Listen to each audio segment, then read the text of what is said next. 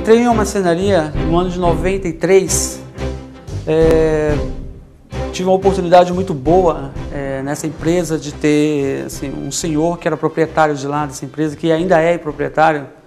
É, o nome dele é seu João, é um excelente marceneiro e eu aprendi com esse senhor tudo o que tem de melhor dentro de uma empresa. Ele é um excelente, foi um excelente professor para mim. E eu fiquei até 2002 nessa empresa.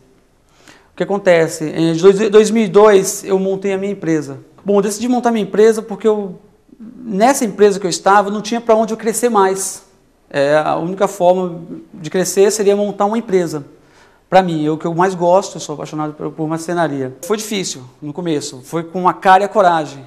Montei essa empresa simplesmente com um bloquinho de cartão, e sem cliente nenhum, sem ter noção nenhuma de como era ser empresário, dono de uma empresa.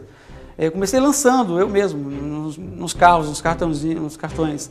E logo na sequ, em sequência é, surgiu um cliente.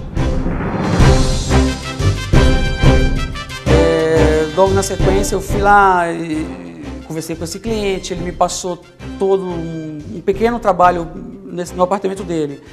Gostou desse pequeno trabalho? Ele já me passou todo o apartamento. E daí então foi difícil, porque tinha três funcionários só. Eu tive que me desdobrar. Eu desenhava, eu trabalhava na execução do móvel, eu às vezes ficava, virava a noite trabalhando.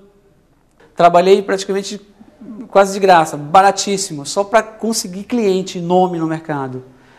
E daí então esse cliente me indicou para um segundo cliente, o segundo me indicou para um terceiro cliente e um quarto cliente, e aí foi a nossa empresa hoje está estabilizada já.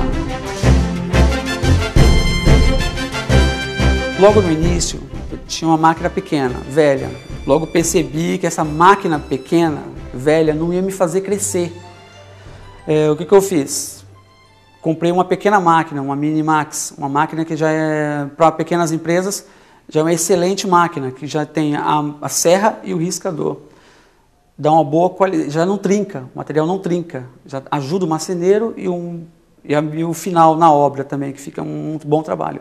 Bom, logo na sequência compramos uma seccionadora, que foi esse ano ainda, no ano de 2008. Essa foi uma virada na nossa empresa. Assim. Nossa empresa, de três, quatro meses, explodiu, cresceu muito a nossa empresa. É, desde, por, por motivo de, de, de, investir nesse maquinário. Nossa empresa sempre está crescendo, pensando daqui a um tempo comprar mais maquinário para estar tá evoluindo. Muita dedicação ao trabalho, respeito ao cliente, é fundamental. Investir investir investir na empresa, sempre investir na empresa a Léo fornece um material, te apresenta um material, você não pode somente comprar aquele material, você tem que investir para trabalhar com aquele material, para ele se desenvolver e dar um excelente trabalho, um excelente corte, para você entrar no mercado e bater de frente com as grandes empresas. Uma pequena empresa pode fazer o mesmo que uma grande empresa faz, uma multinacional faz. Então, esse é o segredo, você sempre desenvolver a sua empresa, se empenhar ao máximo na empresa. O que é da empresa é da empresa, o que é seu é seu. Agora sim, depois de seis anos, a nossa empresa está pronta para crescer. Agora está pronta para crescer.